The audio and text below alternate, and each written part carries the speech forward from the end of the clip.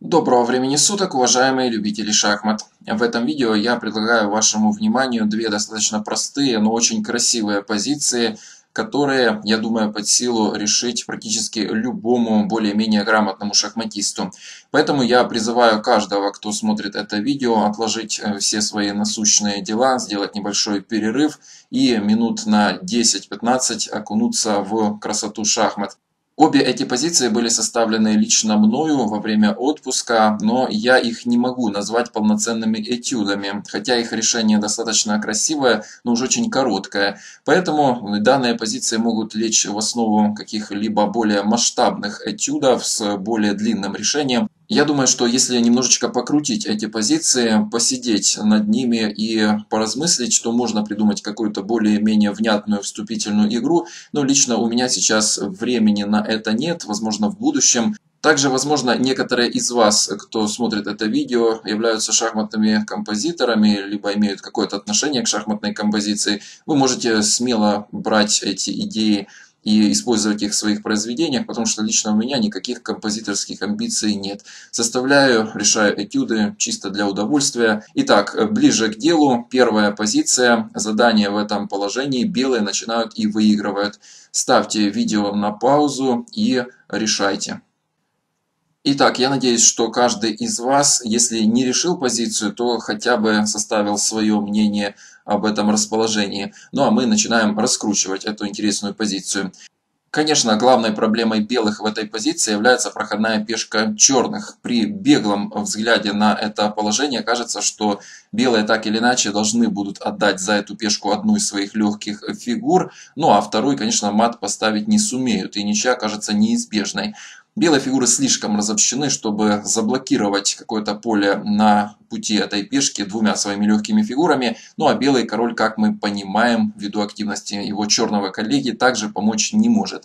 Но на то это и этюдного типа позиция, чтобы решение было достаточно интересным и парадоксальным. Я думаю, для достаточно опытных любителей шахмат, которые более-менее знакомы с этюдной композицией, не составило большого труда решить это положение. Ну, я думаю, что многие из вас догадались, какая тут главная идея. А главная идея состоит в том, чтобы не допустить черную пешку на поле А2, даже ценой жертвы фигуры. Поэтому первым и единственно верным ходом является слон f7. А3 играет черная и в этой позиции слон А2. Вот так, жертвуя слона, мы тем самым делаем невозможным ход а3, А2 и черные вынуждены слона забрать. Ну а белые блокируют короля черных в углу. Король А1 и конь d4. Это кратчайший путь к победе. Стоит отметить, что если бы в этой позиции был ход белых, то на доске была бы ничья, потому что, как известно, конь передать очередь хода не может. Ну а белый король вынужден ходить только по полям c2 и c1. Треугольник здесь невозможен.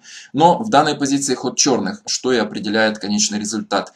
Конечно, если пойти А3, А2, следует немедленно длинный мат. Белые всегда должны иметь возможность поставить коня на b3 в случае продвижения черной пешки. Ну а если следует король а2, то мы играем конь e2 и на король а1 конь c1. Как мы видим, ход король а2 невозможен и на вынужденное а2 следует искомый мат конь b3. Хотя решение достаточно длинное, 7 ходов для чуда это весьма неплохо, но все-таки идея здесь э, достаточно элементарная. Я думаю, что эта позиция больше может рассматриваться как учебная при рассмотрении материального соотношения легкие фигуры против проходных пешек.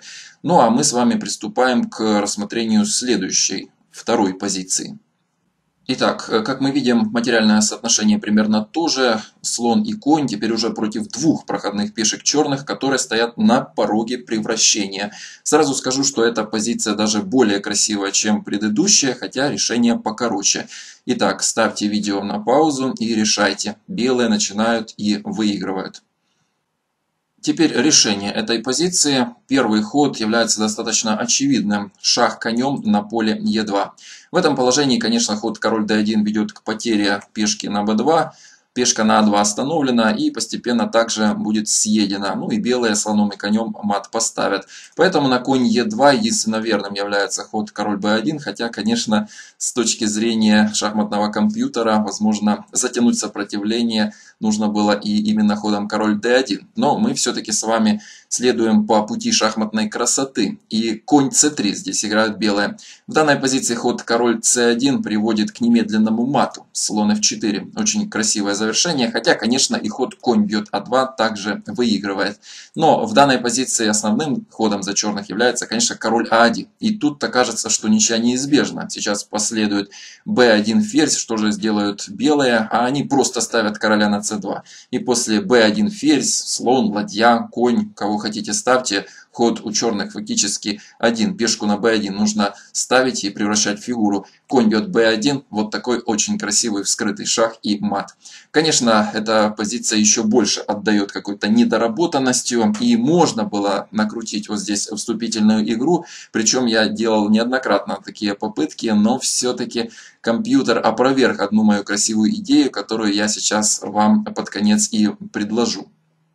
Итак, основной задумкой моей была вот такая позиция. Здесь мне казалось, что после красивого перекрытия конь d4 все сводится как раз к b2, конь e2 и решению предыдущей позиции. Но хитрый компьютер вот в этом положении, конечно же, не ходил А1 ферзь. На это следует задуманная конь b3. И белые уничтожают одну за другой э, черные пешки. Одна из них уже успела превратиться в ферзя. Ну а на конь d4, конечно же, компьютер показал верное решение А1 конь. И у белых здесь ничего не находится. К сожалению, вот эта идея не прошла. Красивое перекрытие. Но, может быть, можно как-то накрутить другую вступительную игру. Мне кажется, что вот в этой позиции можно было предыдущим ходом каким-то разменяться на А2, либо Б2. В общем, это опять же идеи для будущего. Ну, а я надеюсь, что обе эти позиции вам покорились, вы сумели их решить и получить долю шахматного удовольствия.